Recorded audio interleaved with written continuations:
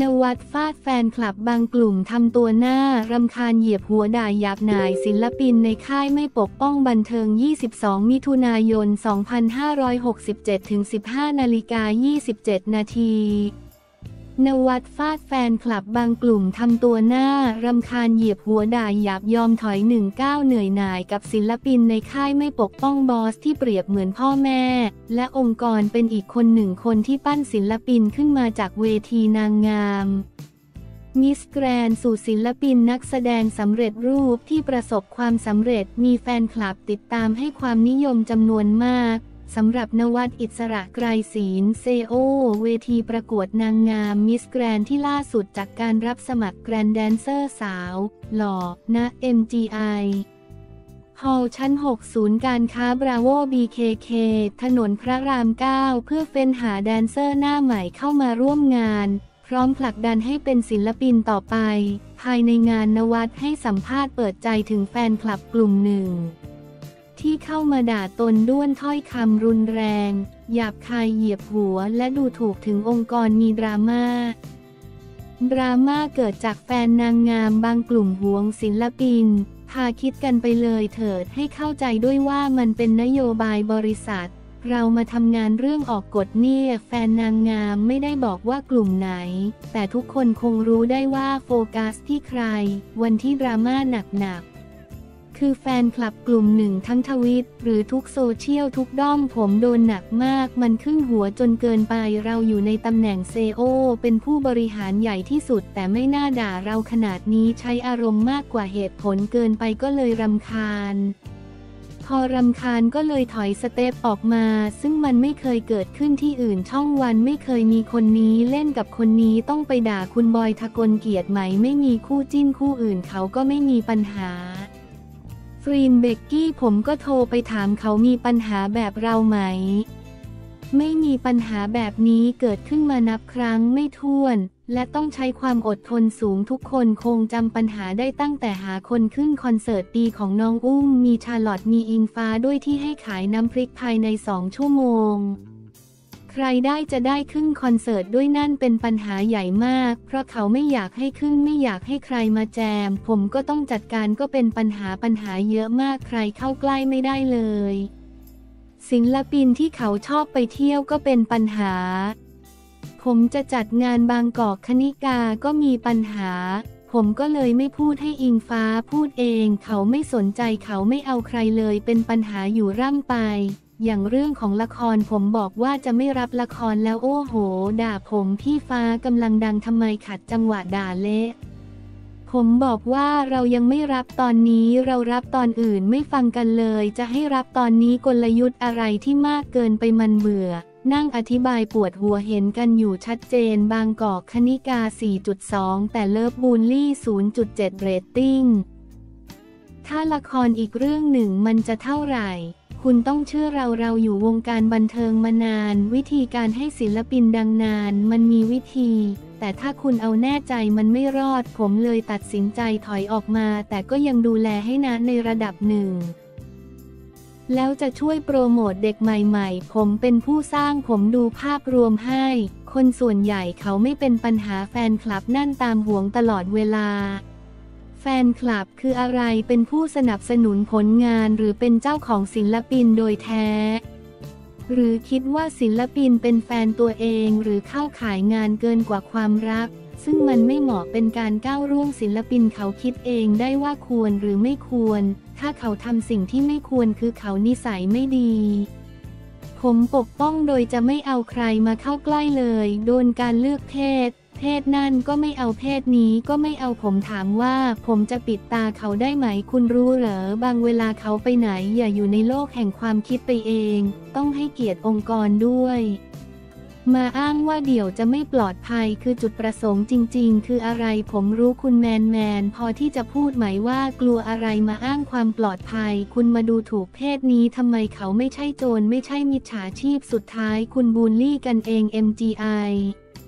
ไม่ใช่ร้านขายของริมถนนเรามีระเบียบวินัยเรามีทุกอย่างจะไม่ปลอดภัยตรงไหนรับส่งถึงห้องเอาเรื่องนี้มาโจมตีผมมันไปกันใหญ่ทำงานไม่เหนื่อย มาเหนื่อยเรื่องไร้สาระ ผมไม่ได้เป็นคนออกกฎนะ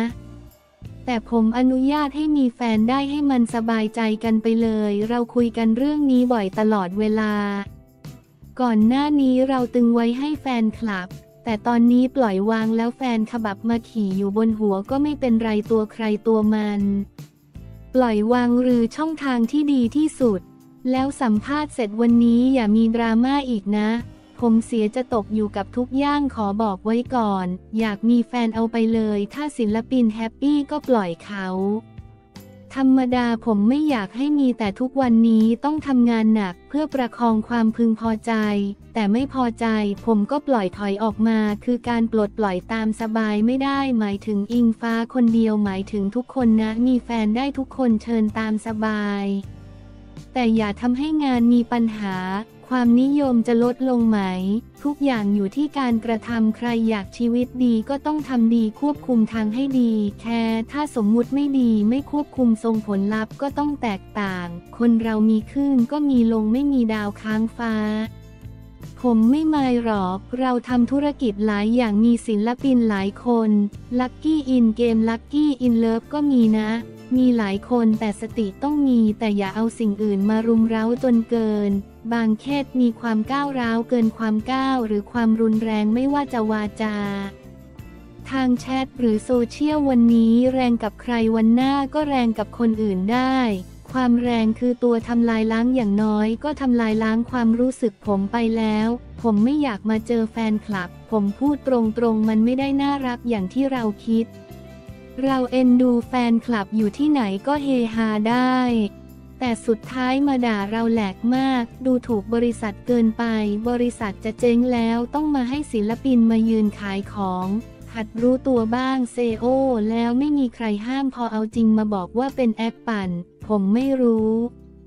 ที่รู้คือพวกแกนี่แหละ ช่วยกันรุม ที่สำคัญไม่มีคนห้ามก็เป็นการสมรู้ร่วมคิดตรงนี้เป็นนัยสำคัญที่ทำให้เราหมกความรู้สึก มันไม่ผิดกฎหมายนะ เป็นสิทธิทุกคนทำได้ แต่ผมก็เลือกถอยออกมามาเร่งเร่งๆอยากให้เล่นละครเรื่องที่สามไม่รู้อะไรกันหนักหนาเล่นมาคุณดูเรตติ้งสิ ผมบอกแล้วรักษาแชมป์มันยากมาก ถ้าอย่างนั้นอย่าทำลายเรื่องแรกสูงดูเรื่องสองก็สภาพนั่นแหละ ถ้าเรื่องที่สามออกมาก็อย่างนั้นแหละ ต่อไปเราจะไม่ได้งานที่ดีที่สุด ประเภทปากเก่งกวนนะ แต่ไม่รอบคอบบางที ผมอยู่กับคนแบบนี้มากไม่ได้ มันไม่ใช่ที่เหมาะสม ไอ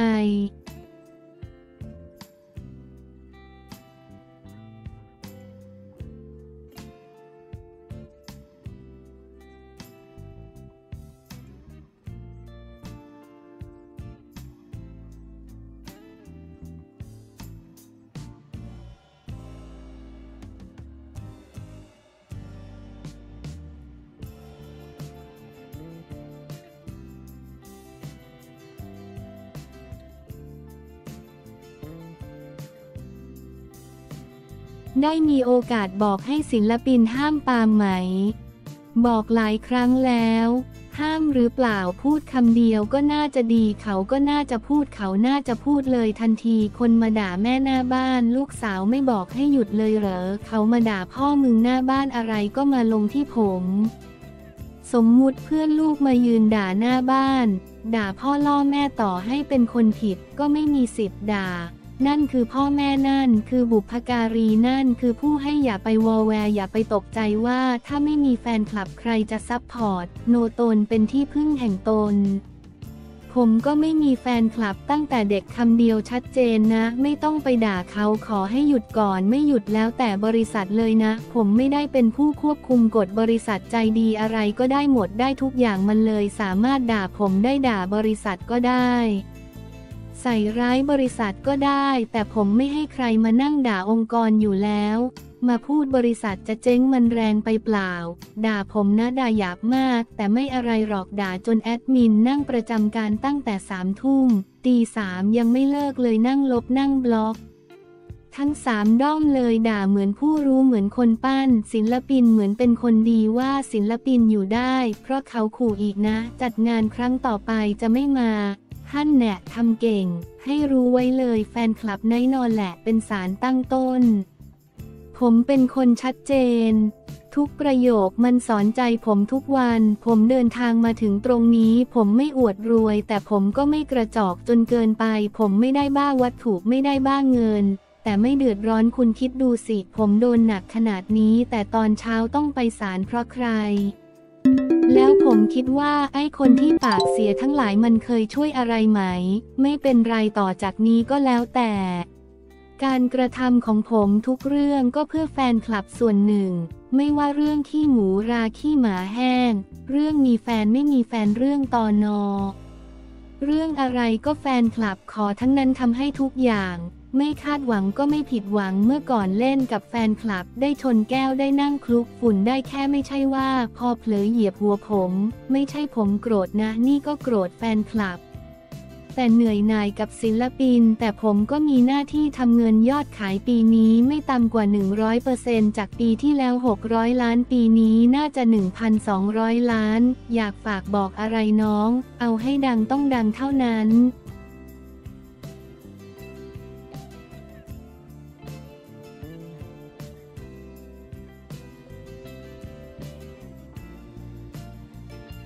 ฟุตโนตแผนพัฒนาอุตสาหกรรมทหารก้าวย่างใหม่ท่าทีใหม่ก้าวไกลในกระบวนการอภิปรายร่างงบ รอ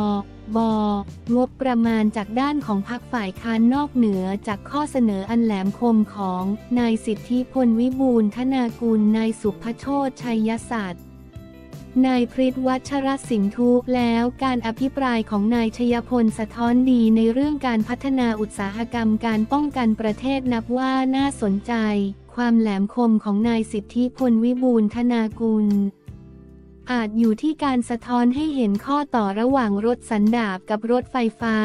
ความแหลมคมของนายสุภโชตชัยศัตร์อาจอยู่ในพรมแดนแห่งเศรษฐกิจสีเขียว ความแหลมคมของนายพริตวัชรสินทุ